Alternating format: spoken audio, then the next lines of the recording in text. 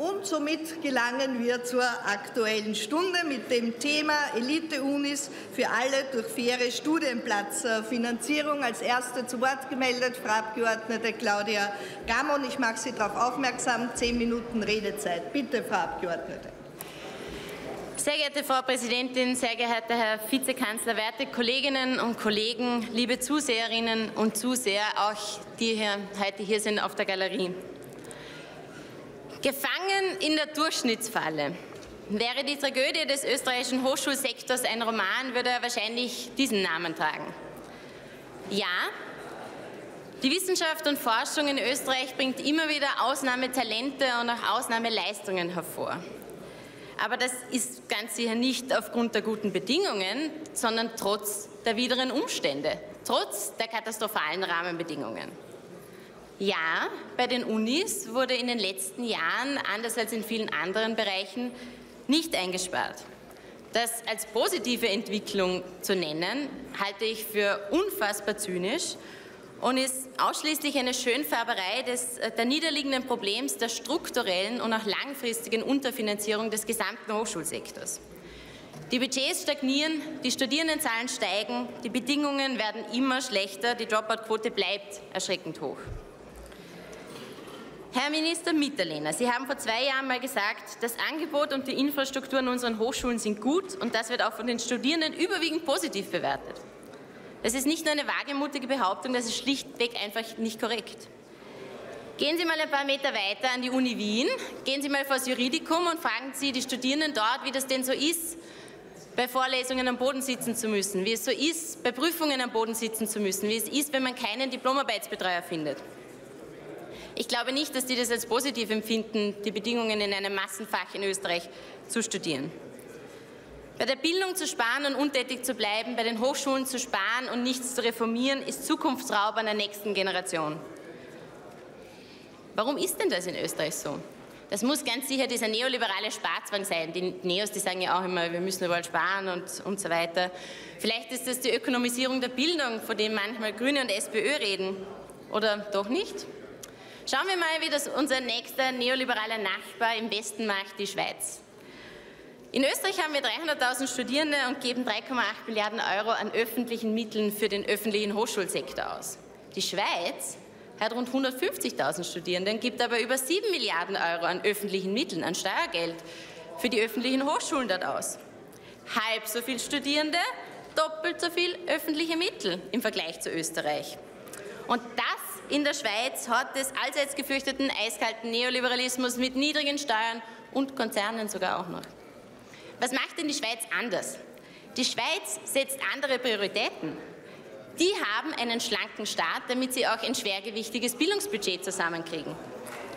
Ausgesprochen schön ist angesichts der dramatischen Lage jedoch, dass der Herr Wissenschaftsminister die Gunst der Stunde, die Gunst äh, unserer aktuellen Stunde genutzt hat und gestern eine Reform der Hochschulfinanzierung hin zu einer Studienplatzfinanzierung angekündigt hat. Das freut mich sehr. Das Wort Studienplatzfinanzierung klingt jetzt vielleicht für ein paar Zuschauer etwas holprig, deshalb möchte ich die Gelegenheit auch nutzen, um zu erklären, um was es geht. Angelegt an das Finanzierungssystem der FH sollen die Unis jetzt nicht mehr nur einen Pauschalbetrag, mit dem sie so oder so nie auskommen würden, kriegen, sondern Geld pro Studienplatz. Das kostet mehr, bringt aber auch mehr Qualität. Eine Studienplatzfinanzierung funktioniert freilich aber nur dann, wenn wir den Zugang zu diesen ausfinanzierten Studienplätzen auch beschränken können. Sonst wird die Systematik vollkommen ad absurdum geführt. Man kann ja nur hoffen, dass es nicht bei dieser Ankündigung bleibt. Schließlich wurde auch die Evaluierung der Kompetenzverteilung zwischen Unis und FHs groß angekündigt, aber wir wissen noch nicht, wo dieser Prozess steht. Wäre auch gut, wenn wir vielleicht heute die Gelegenheit für ein Update nutzen. Die zusätzlichen 1,3 Milliarden für die nächsten drei Jahre sind ähm, auch sehr nett. Es ist aber einerseits weit davon entfernt, was ursprünglich die UNICO vor ein paar Jahren mal vorgerechnet hat, was es brauchen würde. Ähm, und wir sind auch gespannt auf den Finanzierungsvorschlag. Schließlich ist es schon schwierig, 25 Millionen zusätzlich für die Studienbeihilfe aufzutreiben. 1,3 Milliarden sind jetzt plötzlich Peanuts.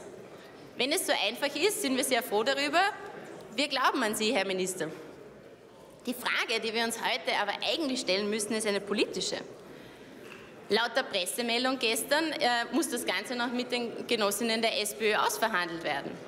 also ein netter Vorschlag, aber wenn man sich den Track Record der letzten Monate anschaut, ähm, würde es mich doch überraschen, wenn man in dieser unglücklichen Koalitionsehe sich noch auf etwas so Vernünftiges einigen kann, auf den letzten Metern. Aber wir glauben an Sie, Herr Minister. Um was geht es uns Neos jetzt hier eigentlich? Wir wollen ein klares Bekenntnis dieser Republik zu Bildung, Wissenschaft und Forschung. Wir wollen eine eindeutige budgetäre Prioritätensetzung. Wir sind im Moment nicht die Republik der Denkerinnen und Entdeckerinnen. Wir sind die Republik des Bürokratismus, der Geldverschwendung und der budgetären Vergangenheitsbewältigung. Siehe Pensionsloch, siehe Hypo. Wir haben es immer relativ locker in der Tasche hier im Hohen Haus, wenn es um populistische Klientelpolitik wie zum Beispiel die Pensionshunderter geht. Wenn wir über Zukunftsthemen reden, blockieren die Sozialpartner, blockieren die Länder, siehe zum Beispiel das Thema Bildung, blockiert die Ideologie, die SPÖ, sehr oft bei Hochschulthemen, ähm, oder es fehlt auch der Wille, Geld auszugeben. Junge Menschen in Ausbildung, die Zukunft unseres Landes, sind politisch hier oft einfach schlichtweg egal. Wir jungen Leute haben hier keine Lobby. Für alle anderen Gruppen scheint hier immer eine Lobby zu finden sein, wenn es darum geht, schnell viel Geld locker zu machen. Wir Neos glauben, dass wir den fitten Staat brauchen, damit wir auch endlich in der Lage sind, beim Thema Bildung, beim Thema Hochschulen ordentlich anzupacken. Ein radikaler Ausbau der Kinderbetreuung hin zu einer qualitätsvollen Elementarpädagogik, weil hier beginnt die soziale Selektion, nicht an den Hochschulen. Wir wollen bessere Pflichtschulen, die in Autonomie und in Bildungsvielfalt leben können, damit es keinen einzigen 15-Jährigen mehr gibt, der nicht sinnerfassend lesen kann, dem alle Chancen im Leben genommen werden. Wir wollen Universitäten und Fachhochschulen, die eine Weltklasse Bildung und Ausbildung bieten, damit unser Land auch fit für Digitalisierung und fit für die Wissensgesellschaft wird. Das wollen wir. Wie kommt man dahin?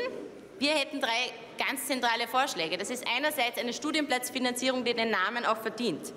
Dafür werden wir signifikant mehr Geld in die Hand nehmen müssen und den Universitäten auch zu ermöglichen, im eigenen Ermessen sinnvolle studienrelevante Zugangsbeschränkungen einzuführen.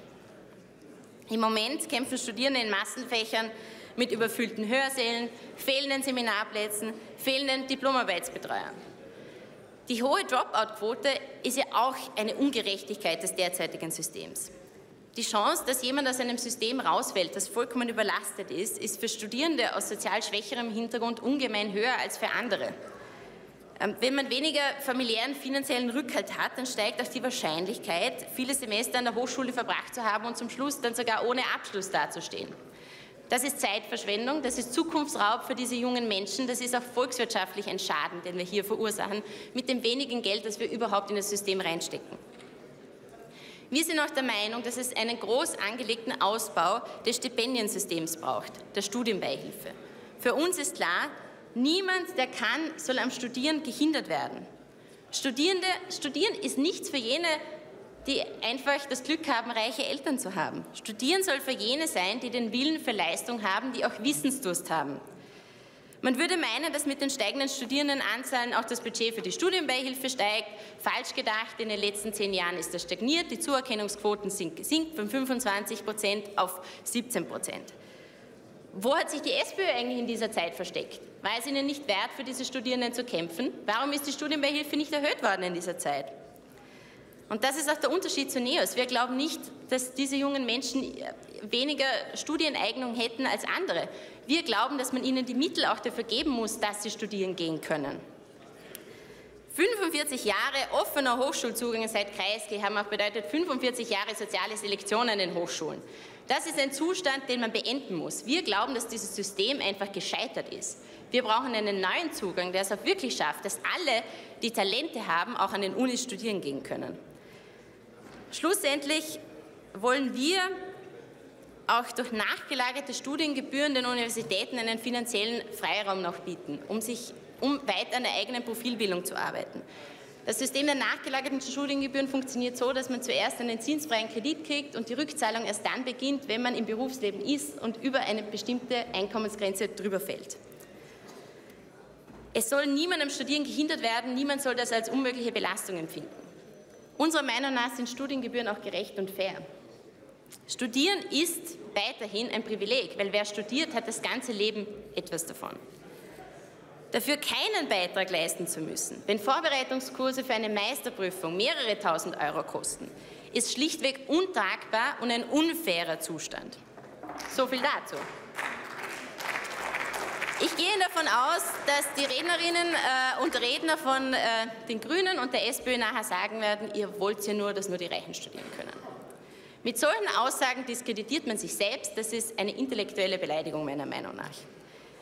Was ihr nämlich wollt, ist, dass jeder, der sich durch die STEOP durchwinden kann, durch Knockout-Prüfungen, durch überfüllte Seminare, wer sich durchwursteln kann, der kann ein unterdurchschnittliches Studium absolvieren, mit der 50-prozentigen Gefahr, es vorher abzubrechen. Wir wollen, dass jeder, der den Willen hat, ein gutes Studium haben kann und auch einen guten Abschluss kriegt. Danke vielmals. Der Bildungssektor wurde über Jahre strukturell ausgehungert. Die NEOS fordern eine faire Studienplatzfinanzierung inklusive Zugangsbeschränkungen, sagte Bildungssprecherin Gamon.